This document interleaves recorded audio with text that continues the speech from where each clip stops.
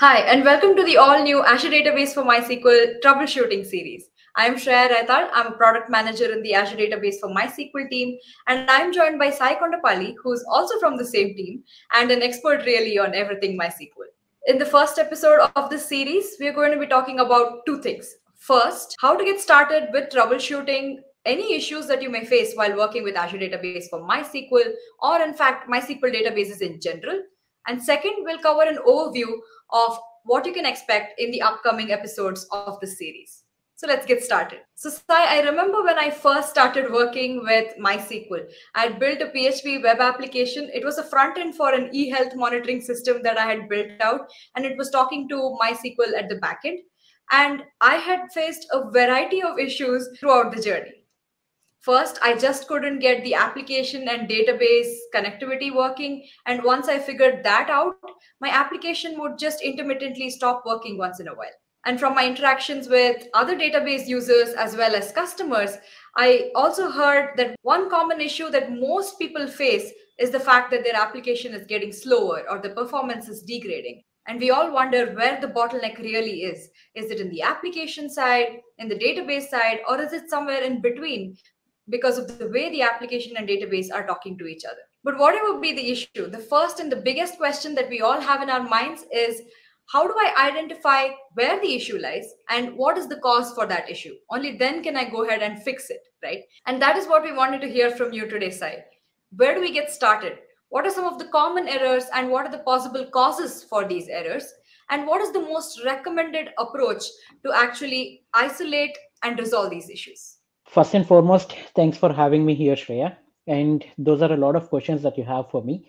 Uh, I'll take a step back before you know diving into where potential issues could be in your application, and to understand where issues are happening uh, from a sysadmin or from a database administration point of view, you need to be proactive first and foremost. And to do that, you need to monitor your resources each and every single uh, resource in your application needs to be monitored and in azure we make monitoring very simple through things such as you know metrics and uh, you can leverage workbooks which provide you that uniform experience across all of the services in azure that sounds good, Sai, but I'm a little overwhelmed with all the different topics that you're talking about. Um, can you probably give us a demo on how all of this works and how much efforts it take to set these things up?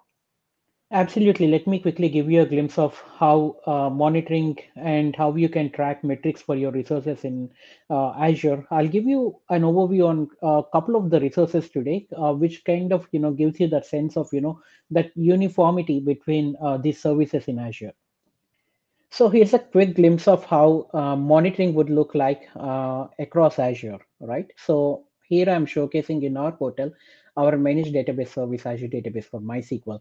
And right now I'm on the metrics tab. And as you can see, it is very easy to track all of your metrics at one place, such as you can track your CPU utilization, you can track your memory utilizations, as well as the connectivity, the amount of storage used, etc.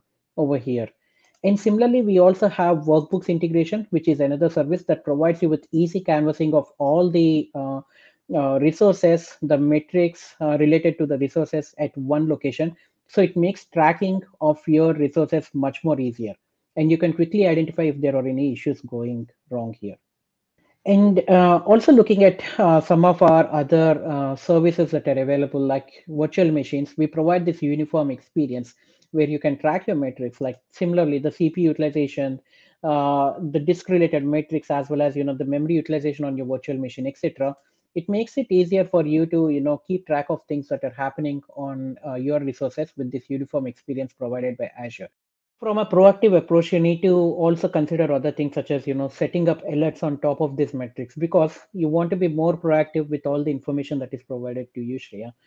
And think about this right? For example let's say that you know your virtual machine or database uh, managed database service where you don't want the cpu utilization to cross more than 50% and you would like to get alerted should that cross the threshold limit that you are setting, right? Over there, you can set up alerts, which will make things a lot more easier for you. And you can get notified via SMS, email, uh, etc. Whenever you know these resources are crossing the threshold that you are specifying on those metrics.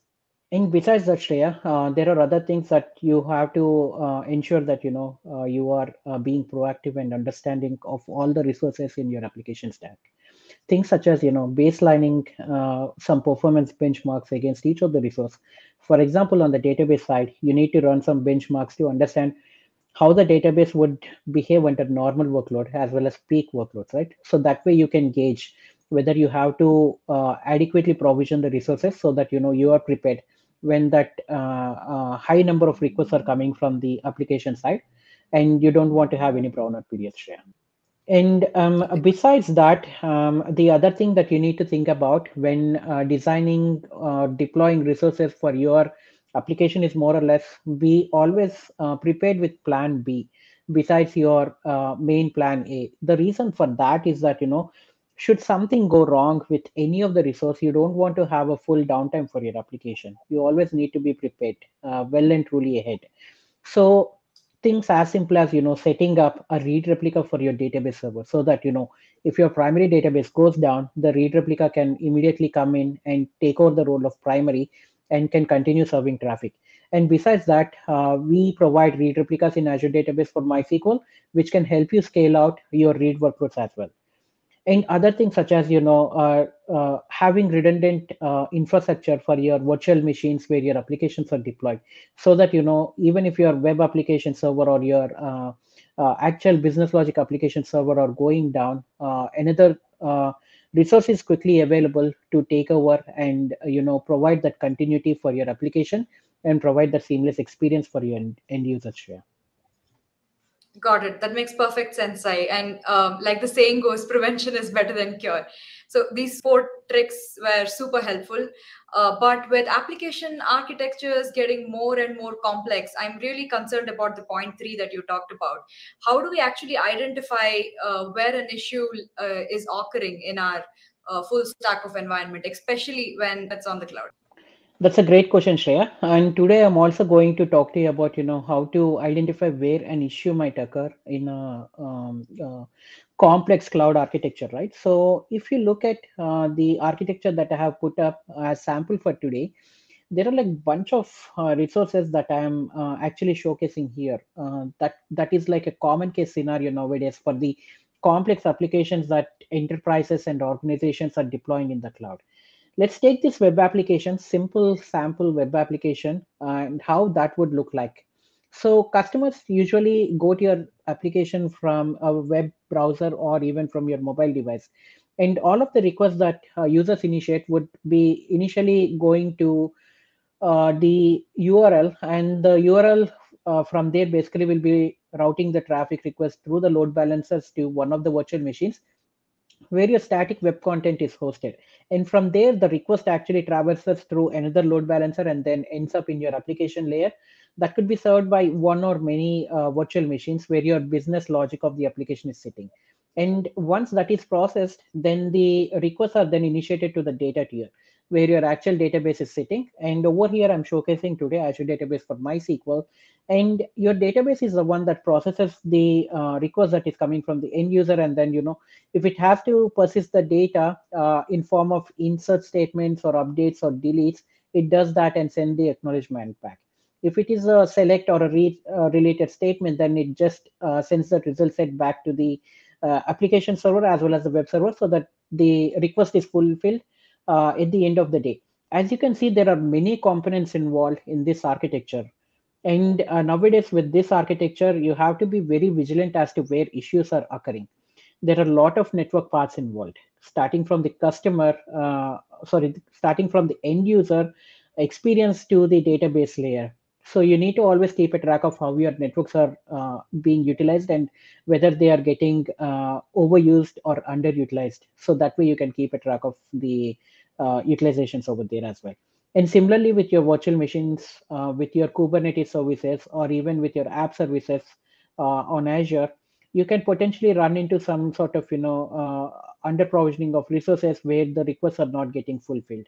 This could lead to the experience that you were talking about earlier, such as you know some of the requests are getting fulfilled and some are not and that's because sometimes the database and the web servers could be under provisioned and do not have adequate resources to process these requests. hence you might have run into that experience Shreya. Awesome. Thanks so much, Sai. So it's first imperative that we have a thorough understanding of what our architecture is in terms of these three layers and the networking uh, uh, layers as well. And it's also important that we continuously monitor all our resources in these three layers and be vigilant. So, uh, but despite all of these proactive approaches, what do we do if and when an error actually occurs? What then? What approach do we follow? Absolutely. Although you're fully prepared, uh, being proactive, there are always these uh, scenarios where you can uh, potentially run into that. You know, sometimes something is working and other time the other thing is not working. Right in any of the resources here. So here I have put together a general process of you know how to identify an issue that might be happening in any resource uh, in your application stack. First and foremost, you need to determine where the issue is happening. This could be in the form of metrics, etc. Like you know look at various metrics available for your resources are you observing any anomalies etc that will kind of you know paint a picture as to where something might be going wrong and that will uh, help you point you in the direction to take the next steps such as verify that the issue is happening things very simple as you know if there are any error logs or any other you know application related logs where you're observing this error or warning errors or warnings that are happening that would you know point out to the potential cause of the issue. And once you identify that you know determine what the actual issue is and uh, to determine that error logs are definitely helpful from the previous step. And once you identify where the issue is how the issue is happening what the issue is then remediate the issue by implement uh, implementing a solution and uh, a good approach here would be to rather than you know directly implementing a solution in your production environment do always uh, test out something in your pre-production environment or a dev or a test environment so that you are sure uh, that you know whatever uh, solutions that you are applying are not going to cause any further issues in your application environments in your production environments sure. and finally implement the solution in your production environment so that your application is up and running Awesome. Thank you so much, Sai. Well, all of these steps look really simple. More often than not, we get into this panic mode and we directly jump into the solutioning uh, part of it, making some baseless assumptions. So, uh, thank you for going uh, through this five steps uh, in detail. Now, folks, this is exactly what we are going to cover in the upcoming episodes. For each of these topics, connectivity issues, performance issues, and some other issues related and specific to Azure, we will cover in depth how to approach the problem, how to isolate the cause of the problem, and how to fix them. Meanwhile, to learn more, do check out our Azure Database for MySQL resources page, which is a one-stop shop for all the links to our resources like documentation, blogs, video tutorials, and more.